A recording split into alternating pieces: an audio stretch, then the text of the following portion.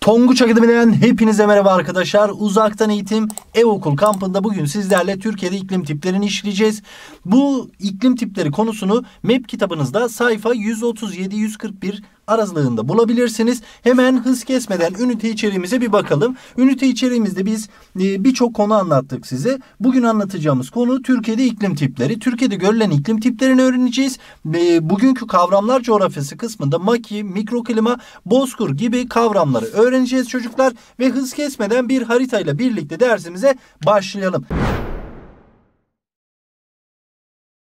Türkiye'de görülen iklim tiplerinin renklendirme yöntemiyle gösterildiği bir harita var karşımızda. Özellikle Güney Marmara'dan başlayıp Ege kıyılarından, Akdeniz kıyılarından Güneydoğu Anadolu bölgesinde Urfa hattına kadar olan kısımda görülecek iklim tipimiz Akdeniz iklimi olarak karşımıza çıkıyor. Bu bir. İkincisi baktığımda çok geniş bir alanda etkili olan iklim tipim var. Kahverengiyle gösterilmiş. ılıman karasal iklim yani step iklimi diyeceğiz ama ben buraya şöyle karasal iklim olarak yazarsam çok daha iyi olacaktır. Erzurum, Kars, Ardahan yani Kuzeydoğu Anadolu kısmında ise sert karasal iklim görülecektir. Yani karasal iklimin biraz daha soğuk iklim grubu olarak karşımıza gelecektir. Karadeniz kıyısında ise Karadeniz iklimi görülecektir diyoruz. Ve en önemlisi neresi dersek Marmara bölgesi. Neden? Çünkü Marmara bölgesinde bu iklim tiplerinin tümü görülüyor. Yani burası bir geçiş grubu geçiş alanı olarak gelecektir karşımıza.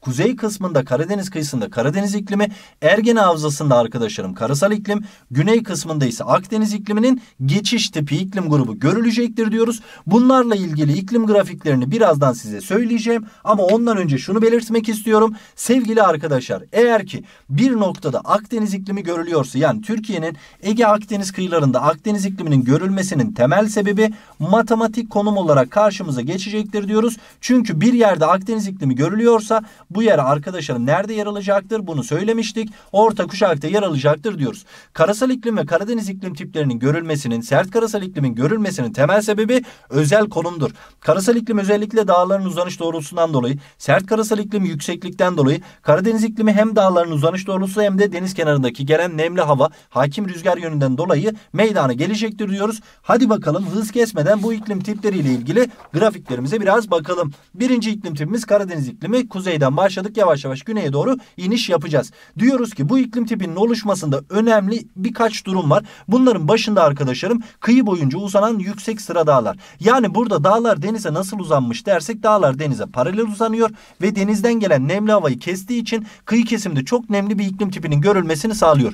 Bu bir. Peki bu denizden gelen nemli hava nasıl geliyor dersek kuzey yönlü rüzgarların denizden taşıdığı nemli hava kütlesinin kıyıda havada tutulmasını sağlar ve iç kısımlara ulaşmasına engel oluyor. Yani burada şunu düşünmem lazım. Denizden bir hava kütlesi geldi. Kuzey Anadolu dağlarına çarptı. Yağışı kıyı kesme bıraktı. Yani Karadeniz kıyısında nemli bir iklim tipinin oluşmasını sağladı diyeceğiz. Peki bu iklimin grafiğine baktığımız zaman sol tarafta yağış ve sıcaklığı gösteren bir grafik. Mavi kutucuklar yağışı, kırmızı çizgi ise sıcaklığı gösterdiğini aşağıdaki alanda gösteriyor bize ve en fazla en az yağışın hangi mevsimde düştüğünü mavi kutucuklara bakarak söyleyebiliriz diyebiliriz. Mart, Nisan, Mayıs ayları yani bizim ilkbahar döneminde yağışımızın ciddi anlamda azaldığını, Eylül, Ekim, Kasım ayları yani sonbahar döneminde de yağışın ciddi anlamda arttığını söyleyebiliriz. O zaman en fazla yağış ne zamandır dersek en fazla yağış bu iklim tipinde sonbahar döneminde düşecektir. En az yağış ne zaman düşüyor dersek tabii ki de ilkbahar döneminde düşecektir diyoruz arkadaşlarım. Bu iklime sıcaklık ve yağış grafiğinden yağış kısmında bunu çıkardık.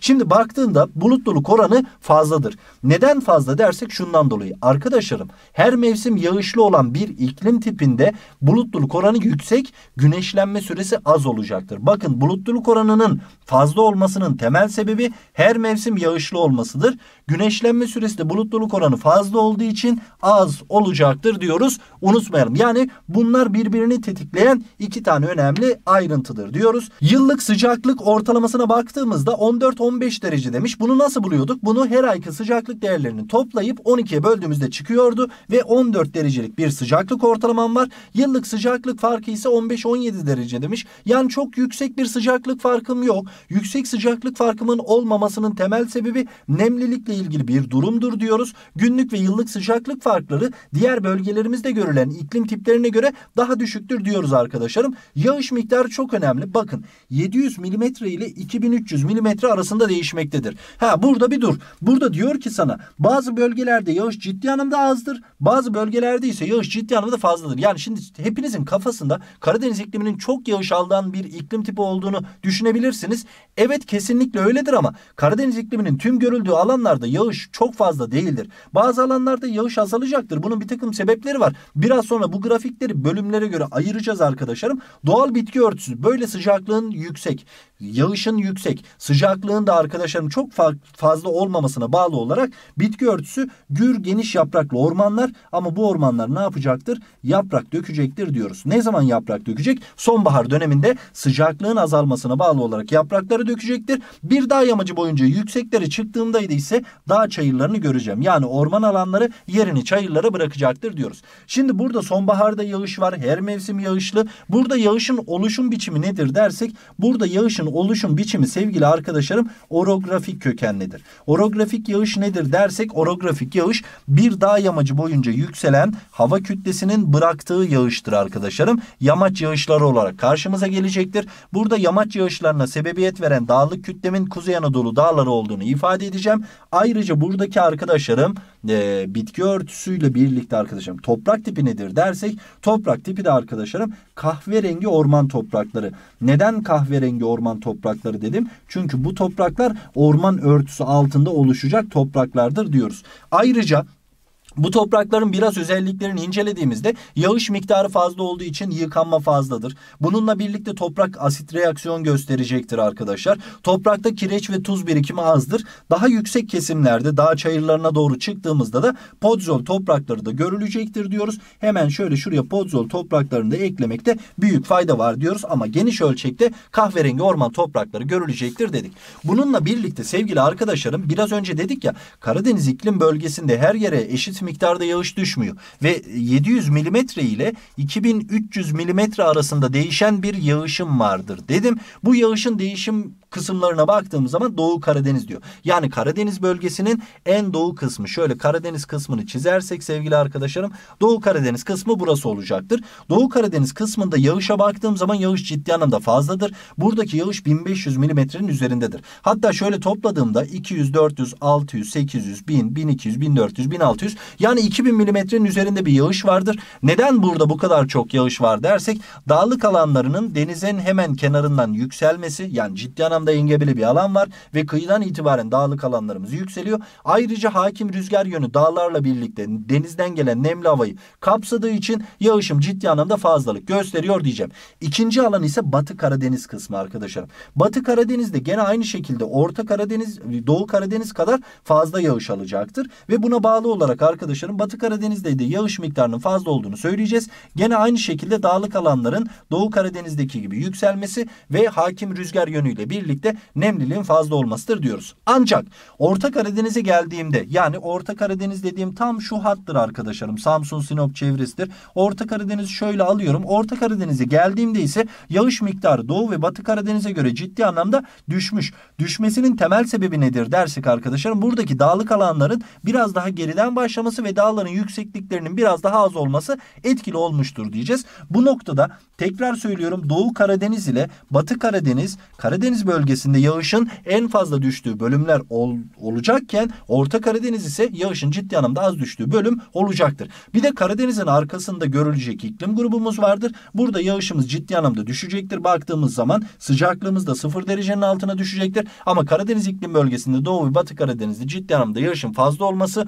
gür bitki topluluklarının olmasını sağlayacaktır diyoruz. Orta Karadeniz'de yaz kuraklığının olması tütün tarımının yapılmasına da sebebiyet verecektir diyoruz arkadaşlarım. Geldik ikinci iklim tipimiz Akdeniz iklimi. Biraz önce söylemiştik. Bir yerde Akdeniz ikliminin görülmesinin temel sebebi matematik konumla ilgili bir durumdur diyoruz. Ve baktığımızda Akdeniz iklimini büyük iklim gruplarında da söylemiştik. Yazları sıcak ve kurak, kışları ılık ve yağışlıdır diyoruz. Kanıt olarak neyi söyleyeceğiz? Yukarıdaki sıcaklık ve yağış grafiğine bakacağım. Mavi kutucuk yağıştı. Yağışlara baktığımız zaman kışları yağışın olması lazım. Aralık, Ocak, Şubat aylarında yağış miktarım artmıştır. O zaman kışlarım yağış yağışlı mı? Evet yağışlı. Ilık mı dersek 10 derecenin altına çok fazla düşmemiş. O zaman ılık olacaktır. Yazları sıcak ve kurak mı dersek yaz mevsiminde sıcaklığa baktığım zaman yükselmiş. 25 dereceye kadar ortalama sıcaklığım çıkmış ve yaz mevsiminde arkadaşlarım yağışım yok denecek kadar azdır. Belirgin bir yaz kuraklığı olmakla birlikte kışlar ılık ve yağışlıdır. Buradaki önemli ifade şudur. Kış mevsiminde bu kadar çok yağış düşüyor. Peki bu yağışın oluşum biçimi nedir dersek farklı iki hava kütlesinin karşılaşmasıyla birlikte oluşur oluşacak yağıştır. Yani güneyden gelen sıcak hava kütleleriyle kuzeyden gelen soğuk hava kütleleri karşılaşacaktır.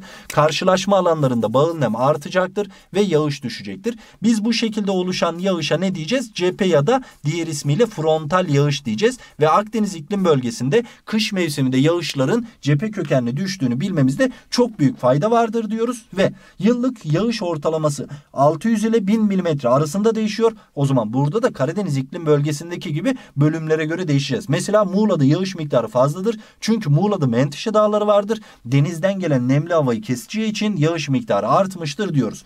Ayrıca yıllık sıcaklık ortalaması ekvatora biraz daha yakın olduğumuz için yükselmiştir. 18-20 derece arasında bir sıcaklık ortalamamız vardır. Sıcaklık farkımız 15-18 derece arasında değişecektir. Peki buradaki toprak tipimiz, bitki örtümüz nedir dersek öncelikle bitki örtüsünden bahsedelim. Akdeniz ikliminin hakim bitki örtüsü kızılçam ormanlarıdır diyoruz. Eğer ki ben bu kızıl Kızılçam ormanlarını tahrip edersem ortama neler egemen olacaktır? Maki türleri egemen olacaktır diyoruz arkadaşlarım. Kızılçam ve makiyi bilmemiz çok büyük önem arz ediyor. Sonra devam ettim sevgili arkadaşlarım. Bitkiden sonra bir de toprak tipinden bahsedeyim. Buradaki toprak tipi Terrosa dediğimiz toprak tipi yani kırmızı renkli Akdeniz toprakları olarak karşımıza gelecektir. Bu toprak neden kırmızı renklidir dersek bu toprağın bünyesindeki demir arkadaşlarım oksitleniyor. Demirin oksitlenmesiyle birlikte toprak ne yapacaktır? Kırmızı renk alacaktır. Şimdi bu kireç taşları üzerinde oluştuğu için bu topraklarda kireç bakımından zengin topraklardır diyoruz. Terrosa Akdeniz ikliminin toprak tipidir dedik arkadaşlarım ve geldik buradaki iklim tipinde bu sıcaklık yağış kısımları neye göre göre değişiyor. Biz bu iklim tipinin Güney Marmara yani Bursa hattından başlayacağız. Ege kıyısından Akdeniz kıyısına kadar olan alanda görüleceğini biliyoruz. Hemen Akdeniz kıyısındaki Akdeniz kıyı tipi iklimine geldiğim zaman burada Sıcaklığın biraz daha yüksek diğerlerine göre bakarsanız arkadaşlar. Neden yüksek? Çünkü ekvatora daha yakınım. Yağış miktarım biraz daha fazla. Yaz kuraklığım ciddi anlamda belirgin. Neden? Çünkü burada arkadaşlarım Toros Dağları var. Denizden gelen nemli havayı kestiği için kıyı kesimde yağışımın biraz daha fazla olmasını sağlayacaktır diyoruz. Ege kıyısına geldiğimiz zaman ise Ege kıyısında arkadaşlarım yağış miktarım Akdeniz'e göre biraz daha düşmüş. Sıcaklığım da biraz daha azalmıştır. Neden Ege kıyısında yağış Akdeniz kıyı tipine kadar biraz daha azdır dersek çünkü buradaki dağlar sevgili arkadaşlar denize paralel uzanacaktır. Denize paralel uzandığı için gelen nemli hava iç kesimlere doğru geçecektir ve bu arkadaşlarım kıyı ile iç kesim arasında nem miktarında ciddi anlamda değişikliğin olmamasını ve kıyıda çok fazla yağışın da düşmemesine sebebiyet verecektir. Güney Marmara'ya geldiğimiz zaman yani Bursa hattı çevresine geldiğimiz zaman sıcaklığımız biraz daha düşmüş. Bak burada 10 derecenin üzerindeydi. Burada 10 derece civarında. Burada ise 10 derecenin altına düşmüştür. Yani burada ekvatordan biraz daha uzaklaştım. Yağış miktarımda gene bir azalışım var. Yaz mevsiminde arkadaşlarım yağış Antalya yani Akdeniz kıyı tipi ve Ege kıyı tipine göre biraz daha fazladır diyoruz. Bu noktada 3 tane görülen alandaki sıcaklık ve yağış grafiğinin değişimleri de böyledir dedikten sonra karasal iklim kısmımıza geldik arkadaşlarım. Türkiye'de en yaygın görülecek iklim tiplerinin başında gelecektir. Çünkü kuzeyde ve güneyde arkadaşlarım büyük sıra dağlarımız vardır bizim.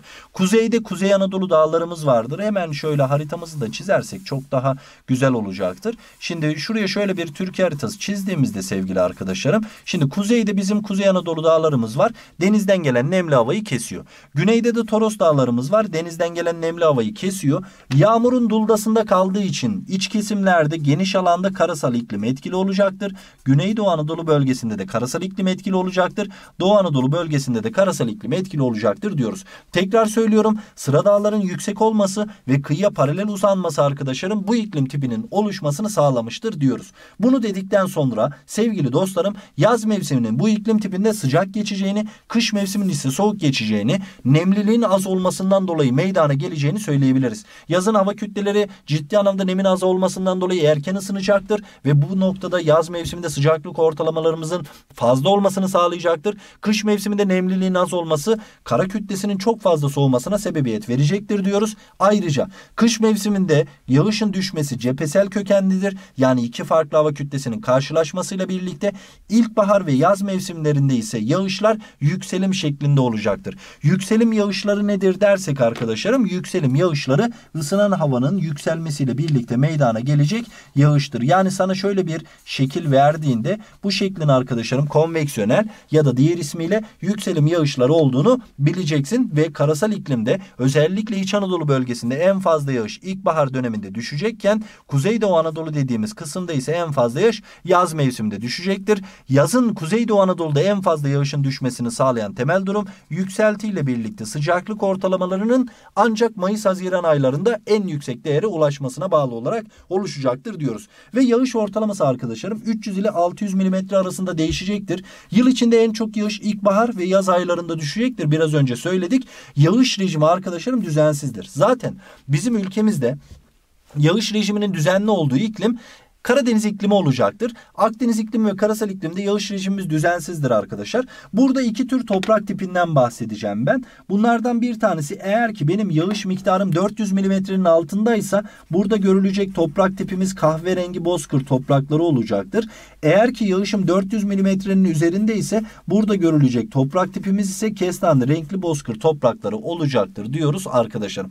Bak bunu unutmayalım. 400 milimetrenin altında olduğu alanlarda kahverengi orman orman toprak, bozkır toprakları 400 milimetrenin üzerinde olduğu alanlarda ise kestane renkli bozkır toprakları görülecektir. Dedikten sonra bu iklim tiplerinin bölgelere göre değişim grafiklerine de bir bakalım. Orta Anadolu dediği bizim İç Anadolu kısmımızı kapsayacak alandır ve burada en fazla yağış ne zaman düşmüştür? İlkbahar döneminde düşmüştür diyoruz arkadaşlarım. Güneydoğu Anadolu'ya geldiğimde kışla birlikte ilkbahar döneminde yağışların fazla olacaktır. Yaz döneminde ciddi anlamda bir kuraklığım belirgindir ve sıcaklığım arkadaşlar diğer alan alanlara göre çok daha yüksektir. Bak 30 derecenin üzerine çıkmıştır. Bunun böyle olmasını sağlayan temel durum nedir derse sana enlem etkisinden dolayı güneş ışınlarının daha dik açıyla gelmesi. Ayrıca güney kısmında Arap Yarımadası'ndan çöl hava kütlesinin gelmesine bağlı olarak sıcaklığın yükselmesidir diyeceğiz arkadaşlarım. Trakya'ya geldiğimiz zaman burası Ergene Havzası olacaktır. Unutmayalım Trakya'da Ergene Havzası'nda karasal iklim görülecektir diyoruz ve bu alanda da genel itibariyle yağışım kış mevsimiyle ilkbahar döneminde daha çok artacaktır. Ancak Doğu Anadolu tipi karasal iklime geldiğimde ise arkadaşlarım yani burası Kuzeydoğu Anadolu olarak karşımıza gelecektir. Kuzeydoğu Anadolu'da en fazla yağış sevgili arkadaşlarım yaz döneminde görülecektir. Yaz döneminde görülmesinin temel sebebi de yükseklikle ilgili bir durumdur diyoruz. Hemen önceki derslerimizi hatırlayın. Önceki derslerimizde bir Türkiye haritasının iç kısmını şöyle bir E harfi çizmiştik. İlkbahar dedik, yaz dedik, sonbahar ve kış dedik arkadaşlarım. Bu noktada sevgili arkadaşlarım eğer ki böyle bir grafik gelecekse senin karşına burada yapman gereken şu İç Anadolu bölgesine en fazla yaş ilkbaharda düşüyormuş. Kuzeydoğu Anadolu dediğimiz kısma en fazla yaş yaz döneminde düşüyormuş. Karadeniz ikliminde sonbaharda düşüyor ve Akdeniz ikliminde de kış döneminde düşüyormuş dedikten sonra sevgili arkadaşlar geldik etkinlikler kısmımıza. Etkinlikler kısmımızda hemen bir bakalım. 7-8 tane etkinliğimiz var. Deniz etkisi dağların uzanış doğrultusundan dolayı iç, kesimlere kadar ulaşır. Hemen şunu düşünün. Dağların uzanış doğrultusunun denize paralel mi, denize dik mi olması lazım? Tabii ki de denize dik olması lazım. O zaman deniz etkisi dağların uzanışından doğru diyorsa dik uzandığından dolayıdır diyeceksin ve dik uzandığı alan neresidir dersek Ege kıyısıdır. O zaman A seçeneğimiz ne olacaktır? Bu kısım olacaktır diyoruz. Burası birinci alanımız. Diyor ki orografik yağışlar sebebiyle 2000 milimetrenin üzerinde yağış düşer. Orografik yağış neydi arkadaşlarım? Orografik yağış yamaç yağışıydı. Yani bir dağ yamacı boyunca yükselen yağış grubuydu. Bu iklim tipi Karadeniz iklim bölgesinde olacaktır ve Karadeniz iklim bölgesinde de Doğu Karadeniz'de olacaktır. Çünkü Orta Karadeniz deseydi burada yağış miktarı biraz daha azdı arkadaşlarım ve bu kapsamda orografik yağışlar arkadaşlarım B seçeneğiyle Doğu Karadeniz kısmı olacaktır diyoruz. Devam ettim. Yıllık yağış miktarı 250 milimetre civarındadır. Yani burası ciddi anlamda kurak bir alandır. Kuraklığın en yoğun hissedildiği bölgemiz ya da bölümümüz neresidir dersek İç Anadolu bölgesi olacaktır. İç Anadolu bölgesinde de Konya ve çevresi olacaktır. O zaman C seçeneği Konya ve çevresi Tuz Gölü ve çevresi diyeceğiz. Daha doğru bir ifade olacaktır diyoruz. Demiş ki mikroklima özelliğinden dolayı pamuk tarımı yapılacaktır. Mikroklima neydi? Geniş bir alanda görülen iklim grubu içerisinde küçük bir alanda başka bir iklimin görülmesiydi. Burada özel durumlar etkiliydi. Hemen aklıma neresi geldi burada? Iğdır geldi. Iğdır ve çevresinde mikroklima özelliğinden dolayı pamuk tarımı yapılacaktır. O zaman D seçeneği de hemen Iğdır'ın bulunduğu hatta çizdim arkadaşlarım. Demiş ki siz deniz ulaşımının aksamasına sebebiyet verecektir. Haberlerde bunu bazen görmüş olabiliriz. Özellikle kış ve ilkbahar dönemlerinde sise bağlı olarak deniz ulaşımında aksamalar yaşandığı alanların başında Marmara'da İstanbul Boğazı gelecektir. O zaman E seçeneği ne olacaktır arkadaşlarım? Marmara'da İstanbul Boğazı olacaktır diyoruz. Mikroklima özelliğinden dolayı muz yetişir demiş. Hemen muzun yetiştiği alanı şöyle bir düşündüğümde tropikal kökenli bir üründü. Sıcak bir iklim alanı olması gerekiyor. Hemen baktığım zaman sıcak bir iklim alanı neresi var? F seçeneğini hemen Mersin ve çevresine yerleştirdim. Diyor ki yaz mevsimi sıcaklık ortalaması en yüksek alandır diyor. Bak yaz mevsimi sıcaklık ortalaması en yüksek. O zaman burada enlemle ilgili bir durum var hem de karasallıkla ilgili bir durum var. Enlem ve karasallık işin içine girdiğinde benim gözüm hemen Güneydoğu Anadolu bölgesine gidecektir. O zaman G seçeneğiyle de burayı alacağız diyoruz arkadaşlarım. En yağışlı mevsim sonbahardır. Hemen şuradan başla E'yi şöyle çiz. İlkbahar, yaz, sonbahar kısmı. O zaman Karadeniz sonbaharsa en yağışlı mevsim sonbahardır dediğimiz kısım H seçeneğiyle Orta Karadeniz yani Karadeniz iklimi olacak mıdır? Tabii ki de olacaktır diyoruz. Kar yağışlı gün sayısı karın yerde kalma süresi çok uzundur. O zaman burası yükseklik ortalamasının çok fazla olduğu, kış mevsiminin çok soğuk geçtiği bir alandır. Hemen aklıma neresi gelecek? Kuzeydoğu Anadolu gelecektir arkadaşlarım. Hemen Kuzeydoğu Anadolu geldiğinde Erzurum, Kars, Ardahan kısmına gideceğiz. O zaman I seçeneğiyle de burası olacaktır diyoruz. Ve genel itibariyle cümlelerimizi Türkiye haritasında işaretli alanlara yerleştirdikten sonra çoktan seçmeli sorumuza bir bakalım. Diyor ki soru bize dünya haritasında taralı olarak gösterilen bölgede hakim olan iklim Türkiye haritasında işaretli alanların hangisinde etkilidir diyor. Hemen bakıyorum Avrupa'nın batı kısmında görülmüş. Bu iklim tipini ben biliyorum. Hangi iklim dersem okyanusal iklim. Her mevsimi yağışlı olan bir iklim tipidir arkadaşlarım. En fazla yağış sonbahar döneminde düşecektir. Bak birçok şeyi söyledikten sonra her mevsimi yağışlı benim için aslında sorunun çözüldüğü kısımdır. Bizim ülkemizde her mevsimi yağışlı iklim tipi Karadeniz iklim tipidir arkadaşlarım. Ve Karadeniz iklim tipinde de bir numarayla işaretli alan sorumuzun doğru cevabı olacaktır diyoruz. Ve bir sonraki sorumuz Akdeniz ikliminin 5 tane özelliğini vermiş ve diyor ki soru yukarıdaki Akdeniz iklimi ile ilgili verilen özelliklerden hangisi hatalıdır? Olumsuz ifadeyi gene ne yaptım? Altını çizdim. Hatalı olanı bulacağız. Akdeniz ikliminde yazlar kuraktı. Evet. Bitki örtüsü makiydi. Evet. Toprak tipi terrorosaydı. Hatta bu toprak tipi kırmızı renkliydi arkadaşlarım hatırlayalım. Yağış tipi konveksiyoneldir demiş. Bir dursun buna bir bakalım. Turunçgil zeytin yetiştirmeye uygundur. Evet doğrudur. O zaman yağış tipi konveksiyonel olmayacaktır. Yağış tipi nedir dersek iki farklı hava kütlesinin karşılaşmasıyla oluşacak cephe yağışlarıdır diyoruz. Ve Akdeniz iklimi ile ilgili sorumuzun yanlış cevabı D seçeneği olacaktır. Doğru ifade yağış tipi cephesel kökenlidir olmalıydı. Bir diğer sorumuz yağış miktarlarının mevsimlere göre düştüğü grafik verilmiş 3 tane grafik verilmiş. 2, 4, 5 tane alan işaretlenmiş ve diyor ki soru Türkiye haritasında belirtilen 5 bölge ile altında verilen yağışın dağılışı grafikleri hangi seçenekte doğru eşleştirilmiştir diyor. Hemen bak şuraya bir bak. Birinci alana en fazla yağış ne zaman düşmüş? İlkbahar döneminde düşmüş. Konuyu en güzel anlayacağınız kısım. İkinci alanda en fazla yağış ne zaman düşmüş? Bakıyorum sonbahar döneminde mi düşmüş? Ayrıca her dönemde birbirine yakın bir yağış var mı? Var.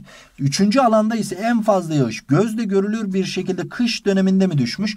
Bak şimdi yapman gereken Tuz Gölü çevresinden yani İç Anadolu bölgesinden başlayıp bir E harfi çizmek. E'yi çizdikten sonra yapacağın işlem şu. Yaz şuraya ilkbahar. Köşeye gel yaz de. Karadeniz'e çık sonbahar de. Akdeniz'e gel kış mevsimi de. Şimdi burada bunları yazdıktan sonra soru aslında çözüldü arkadaşlar. İlkbahar bir numaraysa en fazla yağış ilkbaharda düştüyse bir numaralı yer Z olmayacak mı? Bakıyorum bir numaralı yer Z olacaktır. İki tane şıkkı eledim. 2 numaralı yerde en fazla yer sonbaharda düştüyse sonbaharda 2 numaralı yer K olmayacak mıdır? K olacaktır. Bak geldi geldi. Zaten bu gitti soru seçeneği A şıkkı olarak çıktı. Diğerine de bakalım. Kış mevsimi 3 numara olacak mıdır? Olacaktır. 3 numara kış mevsimi ise kışın düşen X değil midir? X olacaktır. Bitti soru. Yani buradaki mantıkta E'yi çizdikten sonra ilkbahar, yaz, sonbahar, kış diyorsun. Yağışın en fazla düştüğü mevsimlerdir diyoruz. Soruyu gayet rahat bir şekilde yapabiliyoruz arkadaşlar. Bir diğer sorumuz diyor ki geniş bir iklim grubu gösterilmiş. Yukarıdaki haritada dağılışı gösterilen iklim tipinin özellikler arasında aşağıda verilenlerden hangisi yer almaz diyor. Olumsuz ifademin gene altını çizdim. Hemen şunu biliyorum ben bu iklim tipimiz karasal iklim tipidir. Neden bu alanda karasal iklim tipi görülüyor dersek şundan dolayı dağların uzanış doğrultusu. Denize paralel uzandı mı bu dağlık sistemler? Uzandı arkadaşlarım. Denizin etkisi iç kesimlere kadar ulaşmadı. Aynı şekilde burada da denize paralel uzanan dağ sıraları var. Denizin etkisi iç kesimlere ulaşmadı. O yüzden karasal iklim şu hatta zaten neydi benim? Ergene havzamdı arkadaşlarım. Bunu da şöyle ayrıntılı olarak söyleyelim. Karasal iklim bizim ülkemizde görülen iklim tipleri içerisinde yağış miktarının en az olduğu iklimdir. Bu bir. Kışları ılımandır demiş. Bu bir dursun. Bitki örtüsü bozkırdır. Yani steplerdir. İlkbaharda yeşerecek, yazın sararıp kuruyacak ot topluluklarıdır. Kar, don, ayaz kış döneminde olağandır. Çünkü kış döneminde kar yağışları görülebilecektir. Tahıl tarımına uygundur diyor. Tabii ki de uygundur. Çünkü burada ne yapacağım ben? Kuru tarım yapacağım arkadaşlarım. İklime bağımlılığım çok fazla. Bununla birlikte üretimde de yıllara göre dalgalanmaların ciddi anlamda fazla olacağı bir tarımsal yöntemden bahsediyorum ben size. Bu noktada kışları ılıman olmayacaktır. Kışları soğuk ve kar yağışlı geçecektir diyoruz ve sorumuzun cevabı B seçeneğidir dedik arkadaşlar. Bugünkü dersimizin sonuna geldik. Karşınızda ödüllü soru cevapları yorumlar kısmına yazmayı unutmayın arkadaşlar.